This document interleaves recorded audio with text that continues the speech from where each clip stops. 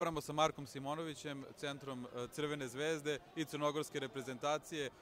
Marko, da li si imao vremena da se odmoriš malo posle svetskog prvenstva i uspešnog nastupa Crne Gore?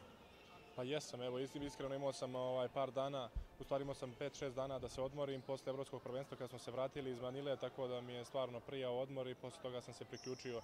timu. Odmah posle toga, posle 3-4 dana smo otišli na taj, na taj prvi za mene pripremni turnir u Mihenu tako da ekipa je onaj, spremali smo se, igrali smo, igrali smo četiri prijateljske utakmice od kad sam ja došao i mislim da ovaj, spremni smo za sezonu. Kako ocenjuješ nastup Crne Gore u Manili? E, e, Crna Gora onako imao neke veoma dobre utakmice, čak i protiv selekcije SAD, bila je vrlo konkurentna. Kako si ti zadovoljan nastupom čitavog tima, ali i svojim ličnim igrama? Pa mislim stvarno da smo napravili jedan veliki uspjeh, pogotovo zato što smo cijelo vrijeme bili, e, baš smo se držali kao ekipa i funkcionisali smo kao tim od prvog do posljednjeg dana priprema, to jeste do posljednjeg dana svjetskog prvenstva, tako da stvarno sam prezadovoljan kako smo, kako smo, kakav smo utisak ostavili u Manili i drago mi je da, smo, da sam ja i, momci sa kojima sam igrao u reprezentaciji ovaj, predstavili e, Crnu Goru na najbolji mogući način igrao si naravno sa Nikolom Vučevićem sa kojim imaš iskustvo igranja. Koliko ti je pomoglo što je on bio uh, u Chicago Bullsima, tvoj saigrač i generalno kako je tvoje mišljenje o njemu kao nekome koji je možda malo ovako zapostavljen generalno i u američkima i u domaćim medijima kao stvarno jako, jako uspešan NBA igrač? Pa Nikola je prije svega jedan vrhunski čovjek koji je to, sad smo stvarno vrhunski prijatelji, a onda jedan fenomenalan igrač. Ovaj, baš mi je dosta pomogao kad sam došao u Chicago i onako, da kažem, uputio me u sve, ovaj, kako sve funkcioniše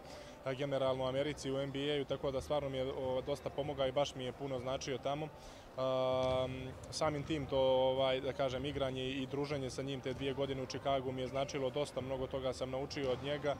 a i ove godine u reprezentaciji igrali smo zajedno i dosta vremena smo zajedno čak provodili na terenu, tako da stvarno mi je ovaj, značilo i stvarno sam sreća što sam imao priliku da učim od njega.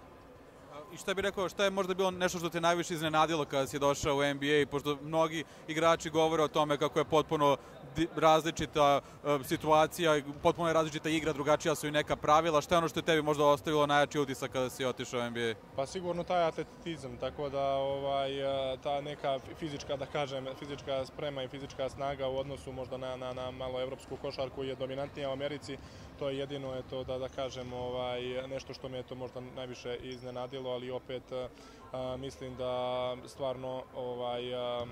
što se tiče NBA-a i što se tiče evropske košarke, to nema previše nekih, da kažem, velikih razlika, ovako osim nekih tih, da kažem, tih nekih atletskih stvari. Da li,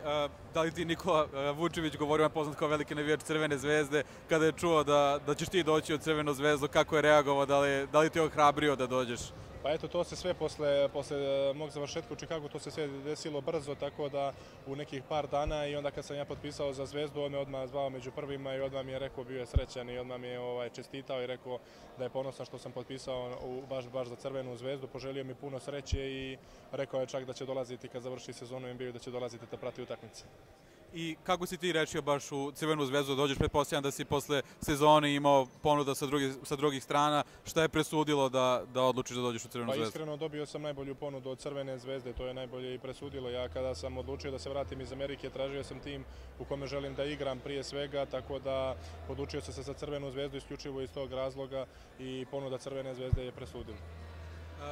Ti možeš na terenu da igraš na obe centarske pozicije, kako bi možda opisao svoj stil igre nekome ko eto nije imao prilike toliko u NBA-u da gleda kako igraš, kako bi navijačima Crvene zvezde opisao ono što ti donosiš timu? Pa iskreno energija. Energija, ja mislim da je nekako i moj najveći kvalitet i kada igram sa energijom, mislim da mogu dosta da doprinesem na terenu, tako da ovaj, trudit ću se da dam svoj maksimum i da budem 100%, da dam 100% svoje energije na terenu svaku utakmicu i da naravno obradojem ja i cijela ekipa, da obradujemo naše navijače. E, veoma je poznata atmosfera u Beogradu na Euroligi, na zvezdinim utakmicama. Pretpostavljam da si i ti imao priliku da vidiš kako to izgleda. Kako je tvoje mišljenje o čitavom uh, ambijentu koji prave navijači Crvene zvezde? Pa iskreno fenomenalno je to. Ovaj, I ranije kao mali čak ovaj, baš sam pratio utakmice i, i čak kao mali sam navijao za Crvenu zvezdu i sad kada sam potpisao i kada ono, se sjetim i kada mi sve prođe kroz glavu da ćemo igrati ono, u Beogradu, da ću igrati pred, pred navijačima Crvene zvezde, da ćemo čak igrati u areni i da će, i da će biti dosta navijača i da, i da će utakmice, da kažem, biti fenomenalne za igranje, stvarno jedan nevjerovatan, nevjerovatan osjećaj. Prije samog početka mogu tek da zamislim kad počnu sve utakmice i kad navijači krenu da dolaze da, da, da, da nas bodre. I rekao si da si kao mali navio za zvezdu, da li ima neki igrač možda koji ti je bio uzor, neki igrač kojeg si najviše voleo kao, kao kad si počinjao košarkašku karijeru? Pa nekako, ovaj, nema sad nešto da, da, da, da sam baš nekog onaj izdvajao, ali eto tako u Zvezdi se poklopilo kada sam ja baš bio mali, nevjerovatno isto ime i prezime Marko Simonović i ovaj, tada igrao za Zvezdu evo ja sad dolazim sa istim imenom i prezimenom, opet igram za, za, za Crvenu zvezdu, tako da je to stvarno neka onako simpatična stvar i, i ono, drago mi je da, da, da se to neke stvari takve dešavaju. A, a dešavalo se u Ljubljani, tako kad je, kada si ti odlazio, to je pardon, kada je Marko odlazio, ti si dolazio u... Jeste, pa eto, ja sam tada bio te godine, ja sam bio u Ljubljani, a ovaj, i, i, i ja sam i dalje imao važeći ugovor, on je došao i u tih par dana mi smo bili faktički u istom klubu i onda sam ja posle možda su tri dana ili posle dva dana ovaj otišao na pozajmicu u Megu, a on je ostao tamo, tako da desilo se eto i u Ljubljani ista stvar. U NBA-u si imao priliku da igraš najboljim košarkašima sveta, ko je možda neki protivnik protiv kojeg si igrao koji je na tebe ostavio najveći utisak, bilo zbog nekih veština ili zbog fizičkih sposobnosti, snage, neko koji te onako baš, koji je onako bio upečatljiv kada si igrao protiv njega? Pa prvi put kada smo igrali, kada smo imali utakmicu protiv Milwaukee, stvarno sam se oduševio kada sam vidio Janisa Antetokumpa ovaj, uživo, da kažemo, onako na dva metra od mene, o, nevjerovatno ovaj, kako, kako čovjek izgleda, kakve fizikali ima i kako igra sa kojom lakoćom. Ovaj, on je broj jedan, onda LeBron James isto i ma ima dosta stvarno igrača NBA, stvarno ono, nevjerovatno kad to mislim ne mogu ljudi da, da, da, da vide preko, ovaj, preko TV-a i kad gledaju preko malih ekrana dok stvarno uživo ne vide kako, kak,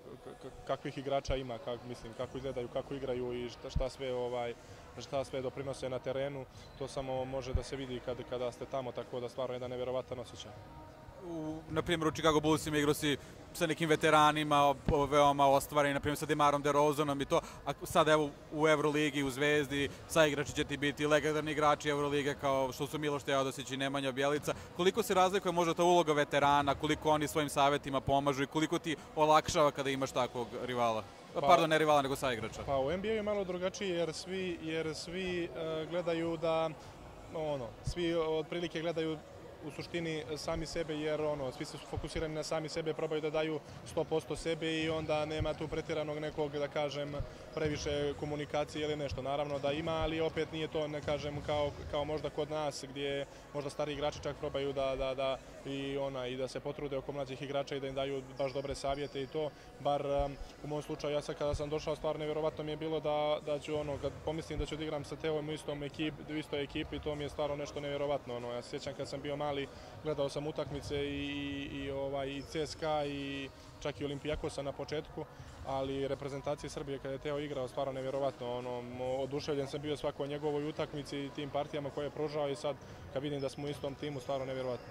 I koliko ti znači to što on bi tako vanserijski dodavač tebi kao dobrom finišeru oko obruča, koliko ti znači što ćeš imati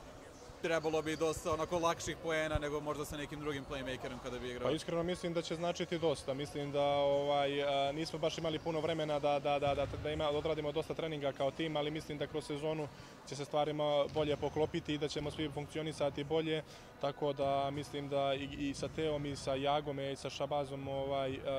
će to sve funkcionisati. Mislim sa njima kao playmakerima će sve to funkcionisati kako treba koja bi bila neka tvoja poruka navijačima Crvene zvezde kada se radi o tvojoj igri, šta bi mogli da očekuju u, u narednoj sezoni? Pa sigurno veliku borbu, potrudit ću se da dam svoj maksimum na, na, na svakoj utakmici, da pružim što bolje partije i da obradojem navijače.